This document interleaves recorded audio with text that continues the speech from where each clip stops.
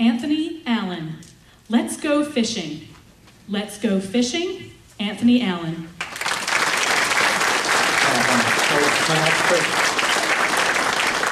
Fellow Toastmasters, fellow fishermen, and fellow fisher ladies, I'm here today. I'm going to share with you some of my wisdom and knowledge that I got through experience with a good friend of mine. We're going to be talking about the most popular freshwater fish out there, the catfish.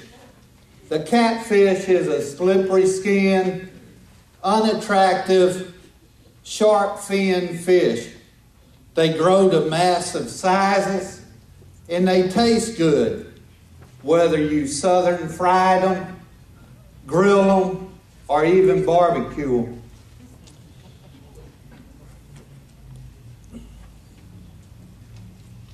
The people people there's different ways to get out there to catch the fish.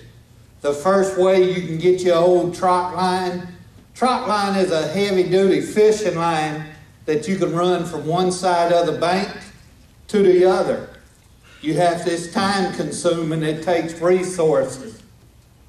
You can go out you can get you a three or four foot fishing line tie a hook to the bottom of it throw some bait on it and throw it on a jug and throw it out there in the water.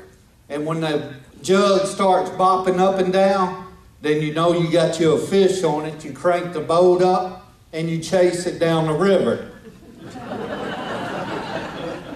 you can do like my brother and I done, as long as your daddy don't find out. We went and cut an old tree limb down and then we didn't have no line, and we noticed Mama's clothesline. that was my first fishing pole. It lasted about two hours. Like I said, my daddy found another use for that tree limb. but I'm going to describe to you the most extreme way to catch a fish. If you love the outdoors, if you have a strong back, and you are fearless, then this fishing is for you. Some of you may know this fishing as grabbling, aka noodling, or thanks to reality TV, hillbilly hand fishing. This word the people the hillbilly hand fishing this for the people with money. They really don't want to get muddy and fight the snakes and stuff, so they just go in and pay for a nice day in a clean pond. The real noodling occurs in a creek somewhere. And over down in Mississippi, we got plenty of them there creeks. I moved up here to North Carolina. We got a creek y'all call the Neuse River.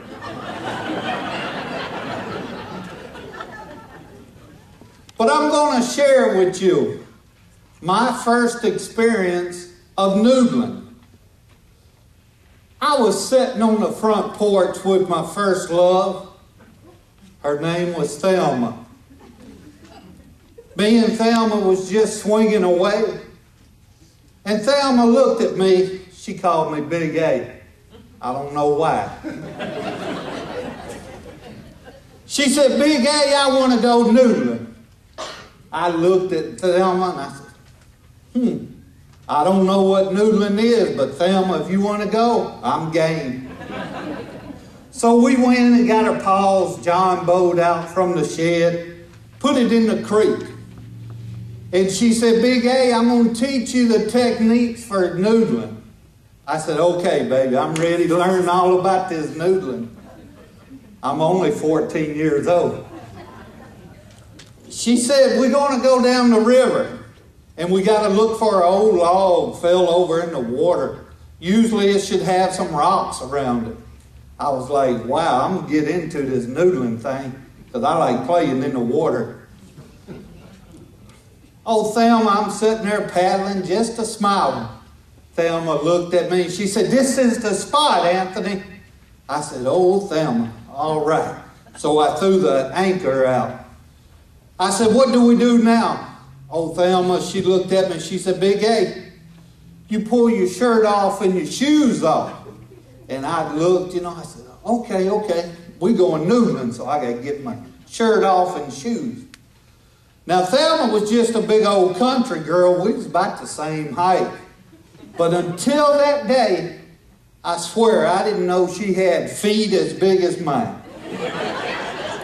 Old Thelma caught me looking at her feet. She said, Don't worry, Big A. I'm going to show you what these feet are good for. I said, Ooh, ooh.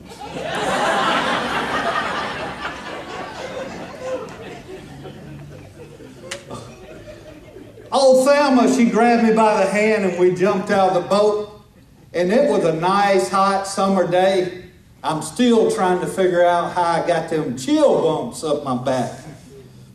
We going down through there and she said, Big A, take your feet and we got to walk across the creek bed and we're going to try to find a hole. So we go through there patting a foot. I said, oh, baby, I got a hole. I got a hole here. What we going to do?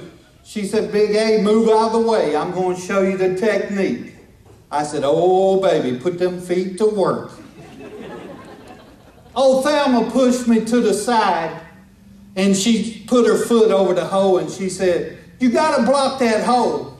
And as you block that hole, you kneel down to one knee. Then you move your foot and you got to stick your hand down in that hole. And I said, Baby, what you going to do? She said, Well, Big A, when that fish is going to be mad when he tries to come out of that hole because you invading his territory. He said, she said, he's going to bite hold of that arm. And when he does, you just grab your other hand, you work it through the jaw and come out through the gills, interlock your fingers and wrestle him. Take, take him and throw him in the boat or throw him to the bank, whichever one's closer. I was like, ooh wee. oh, Thelma, she stuck her hand down in that hole and she liked to make different noises more than me. She, she was like, oh! I said, what is it, Thelma? She said, Big A, it's already nibbling at my finger. I said, oh, Lord, we're going to have us a big fish for supper. Oh, Thelma swung her hand out, jumped around. She had a little crawfish on her hand about that big. Now, let, now that you know about fishing, let's go fishing. Thank you.